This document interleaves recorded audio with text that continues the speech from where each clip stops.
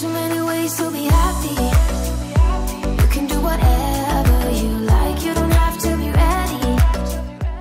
Hey cuties and welcome back to another video. Today I'm going to be sharing all of my presets that I currently have in my game. As always, you can find links to everything in the description down below. I also have done a bunch of these videos showcasing one category of my game like hairs, makeup, skin details, clothing items for both male and female sims, but also kids and toddlers and infants in the past. So I'll make sure to link you to the playlist right now if you're interested interested in any of those videos. But today we're going to have a look at eyes, noses, and lips. So I hope you are excited for this. I have been meaning to do this video for a very long time, but you know, um, just never gotten around to it because it was a little bit intimidating just because if you don't know about the Sims 4 tray importer, this is going to be like new information for you, but you can pretty much get a program where you can find the CC that you use on every sim that you have saved to your gallery. So when I do CC videos like this on other categories in the game, let's say clothing items or hair or whatever, I can obviously just save a bunch of different hairstyles to one sim and upload them to the gallery and then check which ones they are, like what I've used and find them on Google. But with presets, as you know, I can only choose one nose, one eye, pair of eyes, one pair of eyes. One eye sounds so weird. one pair of eyes and some lips. So you know, um, I, if I don't know what a certain preset is, it takes forever to find them because I need to save so many individual sims. It was a bit of a mess, a bit daunting, but we got there in the end. I was like working on this all day, but I really wanted to get it out because I've been meaning to do this forever. Presets are like some of my favorite things to download. I feel like along with skin details because they just change your sim so much. I also have not mentioned this at the start, but it is International Women's Women's Day today. So happy International Women's Day to all of you beautiful girlies out there. I hope you're having a great day today. You know, celebrate yourself, of course. I have been doing this. This was like my contribution to International Women's Day, apparently, but it is alright. I did start kind of late. My sleeping schedule is all over the place lately. I have been kind of busy. I mean, I had an exam and then after that I was super tired, but I also had like a bunch of things to do because I'm currently looking for a new roommate to move in in April. My old roommate is moving somewhere else. So, oh my god, it's been a roller coaster. Last Saturday, oh my god last Saturday we had so many people i think there was six people two of them were through video call which was even more awkward than having people here in person Luckily, my current roommate is like very sociable and very extroverted and outgoing, so he kind of took the lead and did everything and like showed them the apartment, and I was just like a little duckling, just like following everywhere, and I was like, mm-hmm, mm-hmm, mm-hmm. but um, we met a few different people that could be my potential next roommates, but it's so hard to pick. I honestly thought because there were six people and I feel like only with two of them I had like a definite feeling of like no I do not want them to move in. But with the other four I just thought they were all nice. Two of them were definitely like more my favorite over other the other people but it was so hard to dissect my feelings about it. I usually have a very good gut feeling I would say and I'm very happy about that because I usually just rely on it. Usually it is the right thing to rely on your gut feeling anyways, so you should always do that if you can.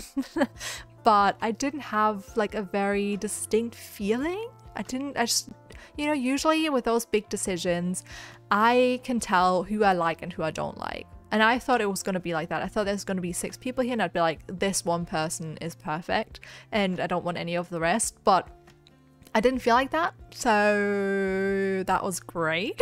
and now um, there's like two guys. It was so annoying because I kind of wanted to live with a female, but my roommate has asked on his Instagram and like he just knows so many freaking people. So a lot of people have come forward to be like, oh, a friend of a friend's is looking for an apartment or whatever.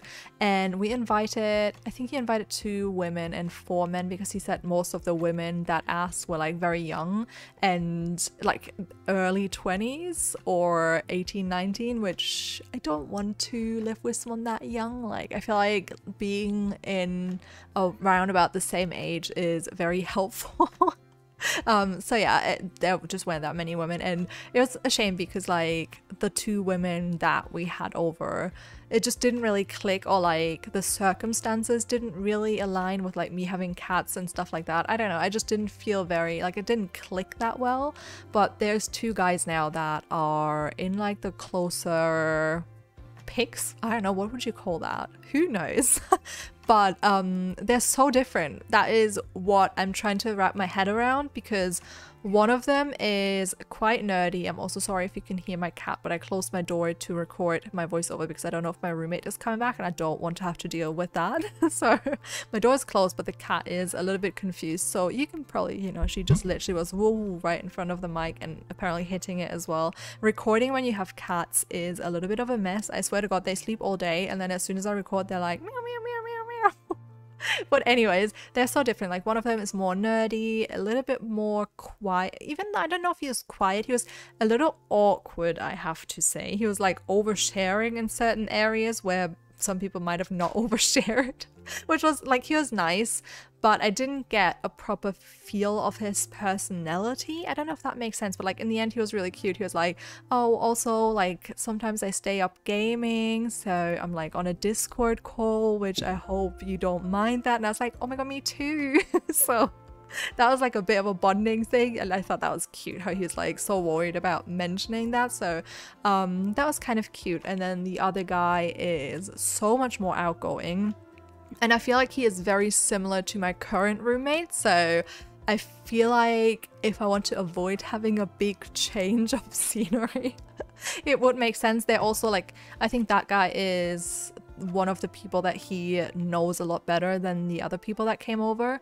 And he was sadly only here over a video call, but he was so freaking nice and it wasn't awkward like at all. He was just very chatty and like, I don't know, just kind of felt more like a friendship type of situation rather than them trying to apply for in it's literally like job interviews i swear to god some of them felt like job interviews and i was like oh my god stop like this makes me feel so awkward uh, but yeah, so that is going to be interesting. I honestly do not know who I should pick. It is very difficult for me. I don't know. I wish it was different. Um, the guy who, like the more outgoing one, is not living close by though. So he also, like, this is the main issue. He has a cat allergy, which he knew before that there's cats here, but he said he did live with three cats before, and I'm not allergic myself, so I have no idea how this works, honestly.